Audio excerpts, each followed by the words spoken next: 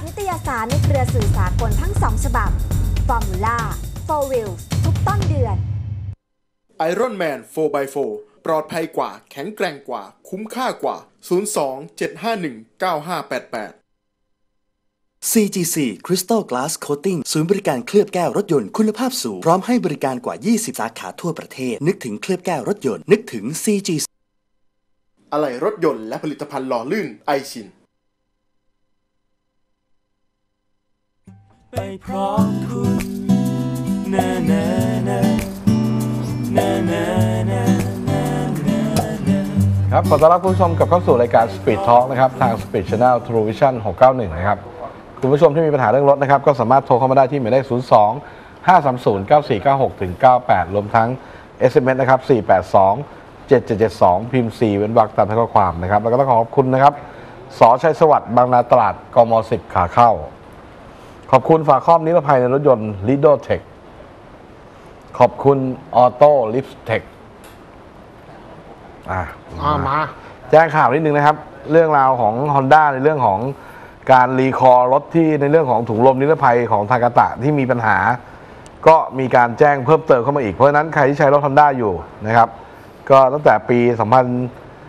2012 Jazz City Jazz Hybrid นะครับ ถ้าเป็น Accord ก็เป็นปี 03 ถึง 07 Odyssey 04 ถึง 06 Honda Regent ปี 07 เอาง่ายๆ ใช้รถ Honda อยากรู้ก็ติดต่อไปที่ศูนย์ หรือว่าเข้าไปที่เว็บไซต์ของ Honda แล้วก็เขามีข้อมูลแจ้งอยู่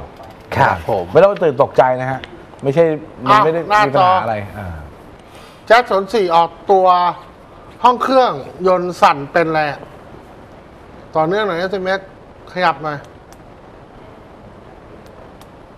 เป็นอะไรได้บ้าง ออกตัวแล้วสั่นก็มีแล้วตั้ก็งแต่สั่นเป็นเจ้าเข้า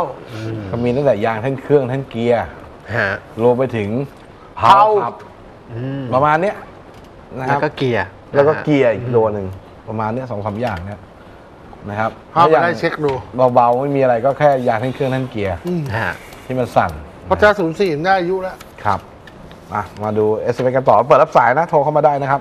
มีข้อไหนไหมพี่เอ็กบนหน้าจอครับ Lexus RX 270นะครับ มือ 2 ราคา 2 ล้าน ราคาเหมาะสมไหมครับ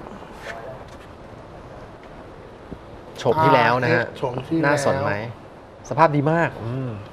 ซื้อได้นะ ประมาณเนี้ยเขาก็ผมเห็นเขาก็ตั้งกันอยู่ประมาณเนี้ยล้านเก้าถึงสองล้านสองถ้าสวยๆสองล้านซื้อได้ครับ ซื้อได้ แล้วรถสวยนะก็ต่อรองลงมาจากราคาที่เขาตั้ง เต็นท์น่ะเขาตั้งราคาให้เราต่ออยู่แล้ว ครับ ถ้าเราไม่ต่อในแปลก เขาดีใจเลี้ยงกันทั้งเต็นท์เลยนะ ครับเพราะฉะนั้นต่อราคากล้าต่อเขาถ้าสองล้านก็ต่อสักล้านแปดล้านเก้า ใช่ไม่ต้องเกรงใจครับ ตั้งอยู่ในกระเป๋าเรา ครับ Toyota ACV 50 ก็คือ Camry โฉมปัจจุบันบเอ่อโฉม Camry Body ปัจจุบันนะครับ เป็นโฉมไฮบริดปี 13 ตัวแรก น่าใช้ไหมครับ ก็เรื่องไฮบริดเขาเราก็ใช้มาหกปีแบตยังอยู่ในประกันไหมครับ เขาประกันตั้งยาวยังตัวนี้อยู่ห้าบวกห้าอืมแต่มันหมายความว่า รถต้องเข้าศูนย์ตลอดเวลาเข้าศูนย์ต่อเนื่องครับ วิธีเช็คก็คือเช็คเอาเลขเครื่องเลขตัวถังกลับไปที่ศูนย์บริการ ใช่ ว่าคันนี้เซอร์วิสต่อเนื่องยังอยู่ใน warranty ไหมนะครับ ทางศูนย์ก็จะทราบเลย ในเรื่องของแบตเตอรี่เนี่ย เอาเลขตัวถังไปนะครับ แจ้งกลับไปที่ศูนย์โตโยต้าใช่ครับ จะทราบเลย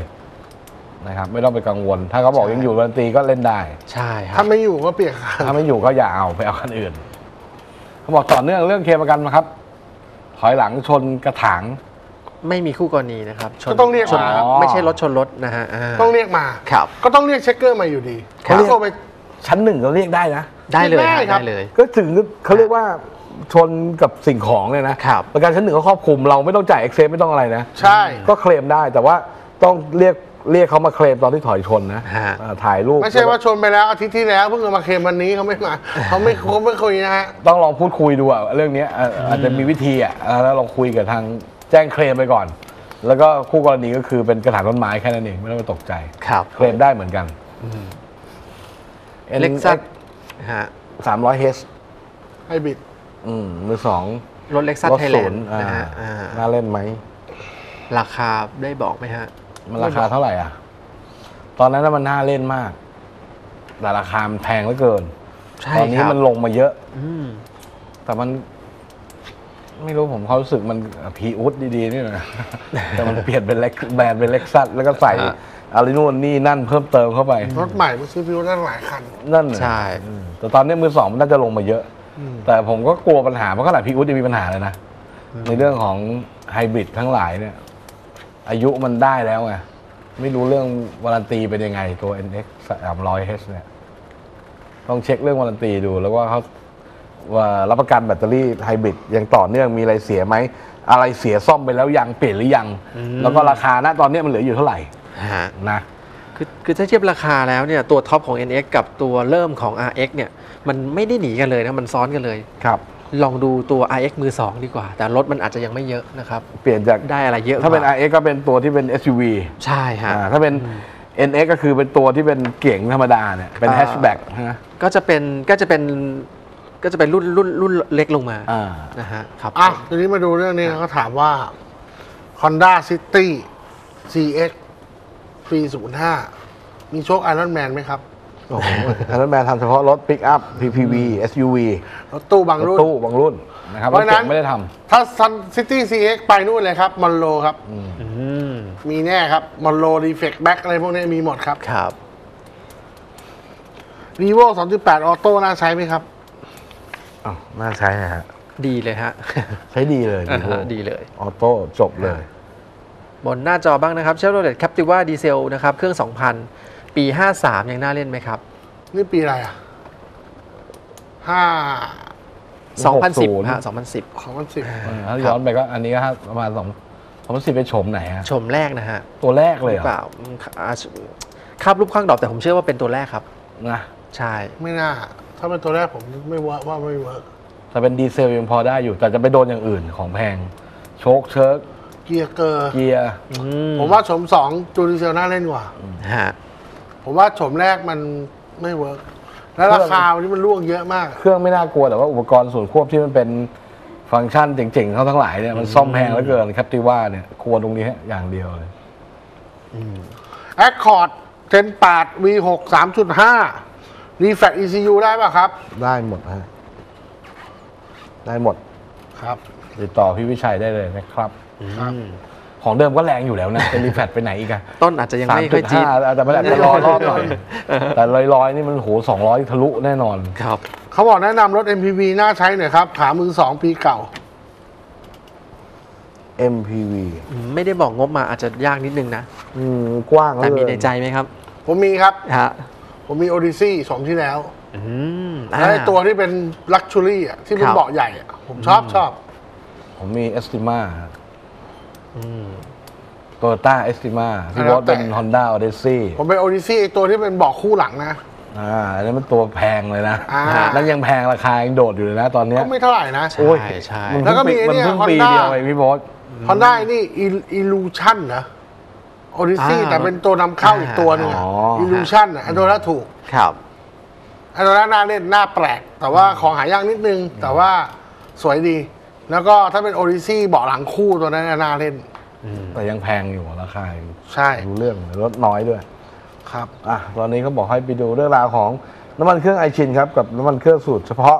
ที่ทำให้ประสิทธิภาพในการหล่อลื่นและปกป้องเครื่องยนต์สูงสุด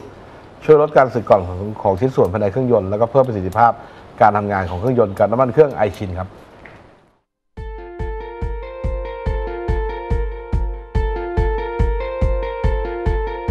ไอชิน บริษัทผู้ผลิตระบบเกียร์อัตโนมัติอันดับหนึ่งของโลก มาตรฐาน OEM แท้จากโรงงาน ไอชิน ได้ทุ่มเทพัฒนาผลิตภัณฑ์ต่าง ๆ ให้ได้มาตรฐานและคุณภาพ ซึ่งเป็นหลักการที่ไอชิน ได้กำหนดไว้ในการพัฒนาผลิตภัณฑ์ทุกชนิด และได้รับการประกันผ่านความพึงพอใจของลูกค้า และในฐานะที่เป็นหนึ่งในผู้นำที่โดดเด่น ในการผลิตอุปกรณ์ยานยนต์ทำให้ไอชินได้มีการร่วมมือพัฒนากับผู้ผลิตรถยนต์ชั้นนำทั้งในญี่ปุ่นและยุโรป โดยความรู้ ประสบการณ์ ไอชินจึงได้คิดค้นและพัฒนาผลิตภัณฑ์หล่อลื่นพิเศษ ที่จะช่วยเพิ่มประสิทธิภาพการทำงาน และยืดอายุการใช้งานของเครื่องยนต์ ซึ่งเป็นน้ำมันเครื่องสูตรเฉพาะของไอชิน โดยใช้เทคโนโลยีการสังเคราะห์น้ำมันพื้นฐานขั้นสูง และสารเติมแต่งทำให้ประสิทธิภาพในการหล่อลื่นและการปกป้องเครื่องยนต์สูงสุด ได้มีการคิดค้นและพัฒนาอย่างดีที่สุด เพื่อให้การขับขี่เป็นไปอย่างราบรื่น โดยไม่มีการกระตุกของเครื่องยนต์ ช่วยลดภาวะการสึกกร่อนชิ้นส่วนภายในเครื่องยนต์ ตั้งแต่เริ่มสตาร์ทจนถึงสภาวะการใช้งานที่หนักหน่วง และช่วยเพิ่มประสิทธิภาพการทำงาน และอายุการใช้งานของเครื่องยนต์ด้วย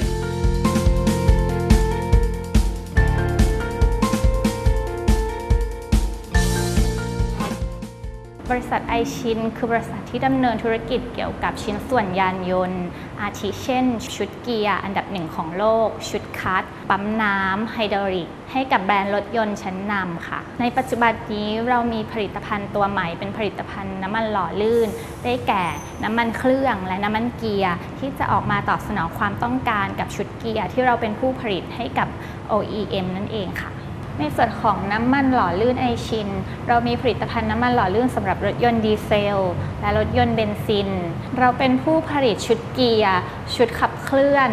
อะไหล่ชิ้นส่วนในชุดของเครื่องยนต์ทำให้เรามีความรู้ความสามารถในการคิดค้น และพัฒนาผลิตภัณฑ์น้ำมันหล่อลื่นสุดพิเศษของเราทำให้เราได้ผลิตภัณฑ์ที่เหมาะสม และตรงตามกับระบบชุดเกียร์ และระบบขับเคลื่อนของรถยนต์ชั้นนำของโลกทุกรุ่นค่ะ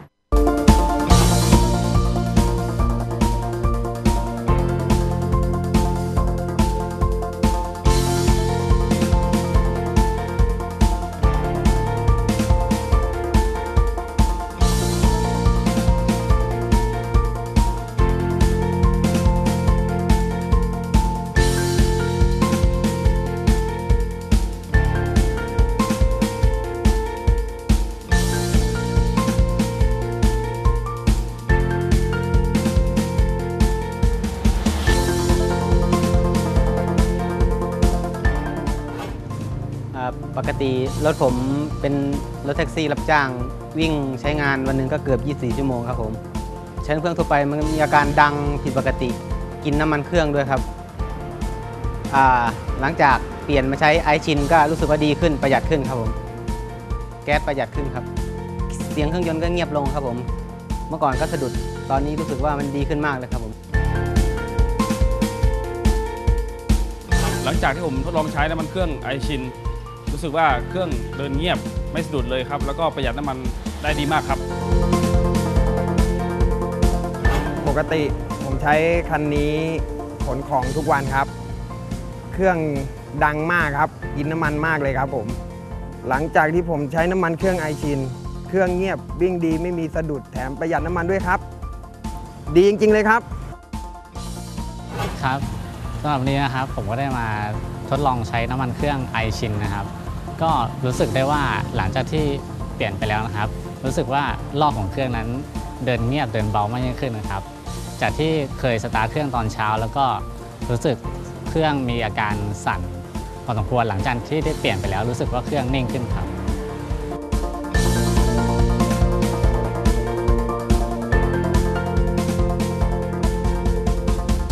ดีจริง ๆ เลยครับ